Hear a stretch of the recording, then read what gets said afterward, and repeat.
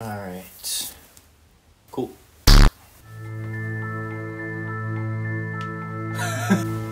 magic. Magic.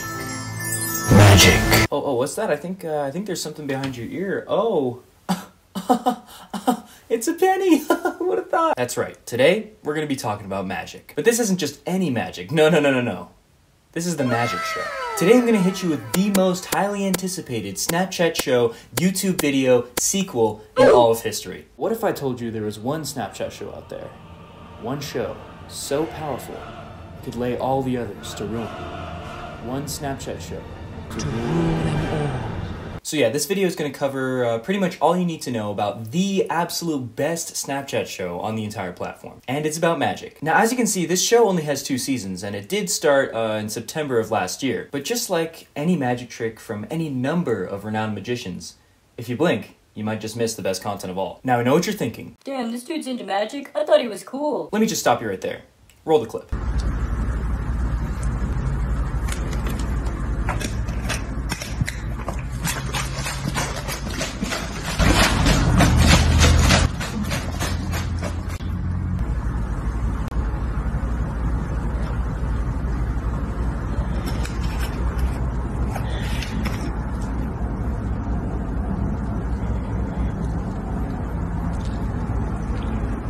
Now this, this right here is the magic I wanted to see. I love how she pours like half the bottle out and then she's like, nah, not quite enough. I gotta top that one off. Okay, at this point, if you're sitting there and you're thinking, Oh, but I wanted to see some actual magic. First of all, you aren't welcome on this channel. You might just want to stop watching now and try to pull that six foot rod out of your ass. But second of all, before you leave, keep in mind that this is episode 57 of season one. There are 75 episodes. There are two seasons. Now, if you go back far enough, you can see that this show did kind of start out as just dudes doing magic tricks. Have a straw here. We're gonna make it levitate.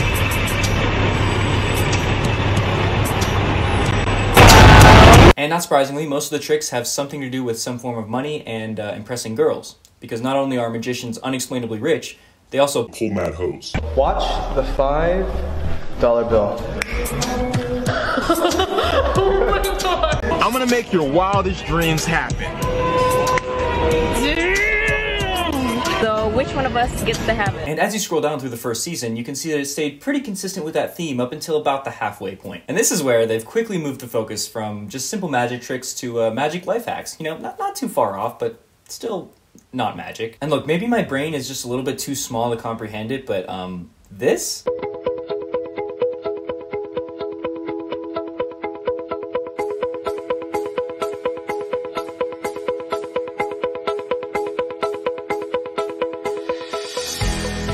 Does it really count as a life hack if it doesn't actually make sense? Am I just stupid or are they actually trying to get people to do this on their own time? Also, I love that whoever came up with this idea just uh, told this dude, all right, so we're just gonna run that trick, but this time don't talk at all, okay? We're gonna add some uh, After Effects in, some nice music, some descriptors, and uh, it's gonna be great. You're gonna do great. You're gonna do great. It's soft now. All right, so that one was life hacks with sugar, but honestly, it wasn't super interesting. So um, let's just check out this one. It's called hacks with apples. That's impossible. Take a red delicious apple and wrap it up in tin foil All right, I'm starting to see why they didn't let this guy talk the first time. and get some used coffee grounds.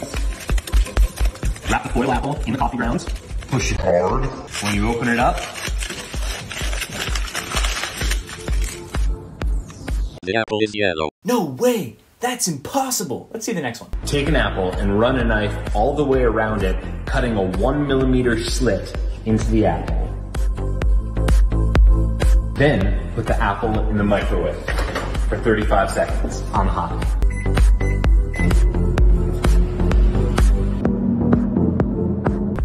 When you pull the apple out,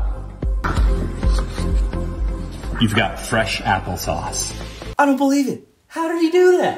Grocery stores put wax on apples. God damn, my ears are bleeding. I think. I feel like I shouldn't need to say this, but just in case, don't don't don't waste your time on this stuff. Okay, it's not actual life hacks. Just eat your apples. I mean, it does keep the doctor away, as the saying goes. Um, I mean, not if you have hemorrhoids, but in most cases. So you're probably asking, how did this show turn into exclusively really shitty, really staged pranks? And there's literally only one possible answer to that question. Clickbait, baby. So throughout this show, we see a lot of different characters, and uh, you know, sometimes they're the ones doing the pranks, sometimes they're the ones getting pranked, and all the time, we have plenty of just all out cringe content. So this one isn't even that far into the show, but we see this recurring couple, and I guess the man is the magician and the woman is his unassuming wife. So he's trying to get her to play along with his trick, and right off the bat, there's some major tension in this room. Perfect.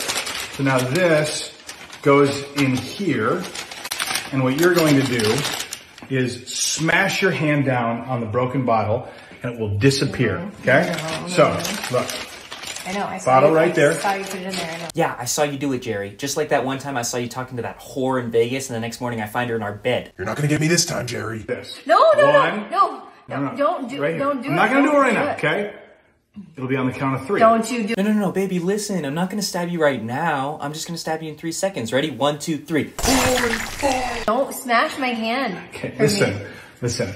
It's a magic thing. Put your hand right here. I like how this guy has to clarify that it's a magic thing. Like, did she not know what she was getting herself into when she married a magician? come on, you have to love magic. Everyone loves magic. Come on, it'll be fine. Just do it. Come on, come on, just do it.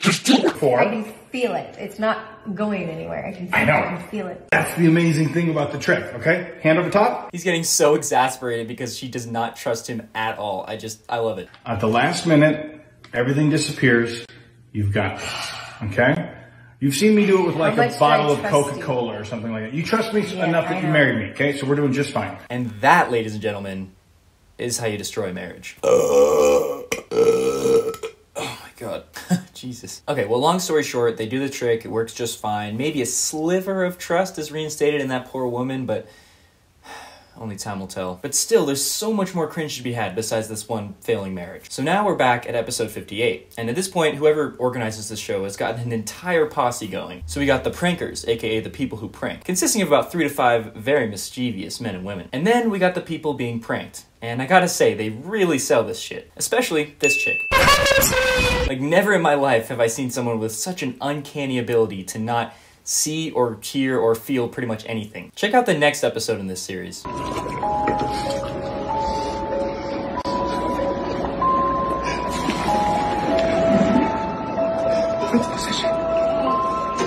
This guy shushes the cameraman while he proceeds to pour like gallons of liquid nitrogen on all sides of this girl. And then this is probably the best reaction to a prank I could ever imagine.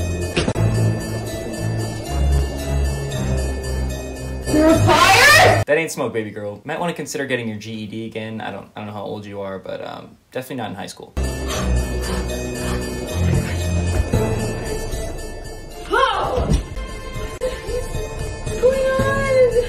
my god,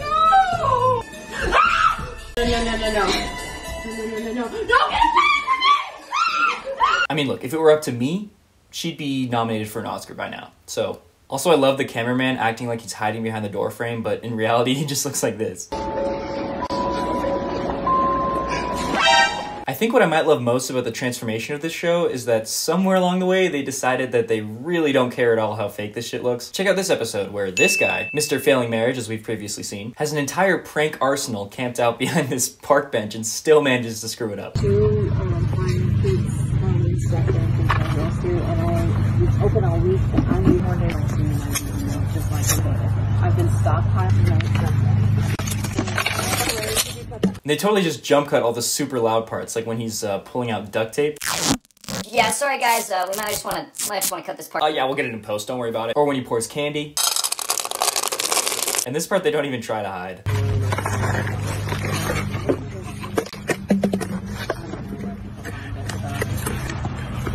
This freeze frame. Oh, I really messed that one up. Should we retake? No?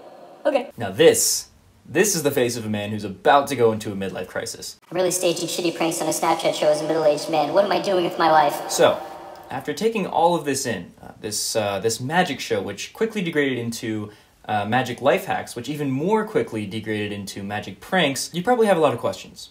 As do I. Number one, are any of these guys even real magicians to begin with? Number two, why do the actors plug their Instagrams and their social media and stuff in the top corner of the screen? Like, if this was me, I wouldn't want anyone knowing who I was. And number three, who okayed a second season of this? Like, for real, who, who did it? I want them brought to me in chains. See if they can break out of that one. But I gotta be honest, with all the shit happening right now, I am living for a second season of the magic show. Now, to me, these are just fake pranks stripped down to their very core. There's no flashiness, there's no deception, there's no Joey Salads anywhere to be seen.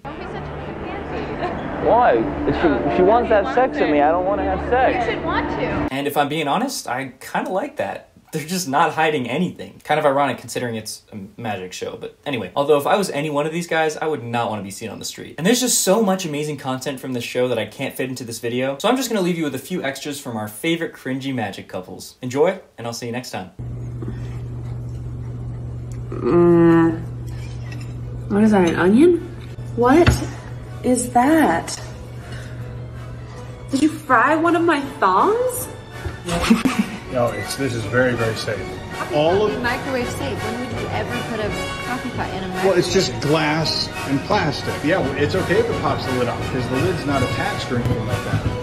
Here it comes. microwave full of popcorn. What are you talking about? That is a good problem to have. Okay, these are first world problems. You chill out. We just made coffee The lid's gonna fall. in a coffee pot. No, we made popcorn in a coffee pot. Yeah, yeah, that's what I said. What, what, what did you think I said? Okay, all right. Now get that.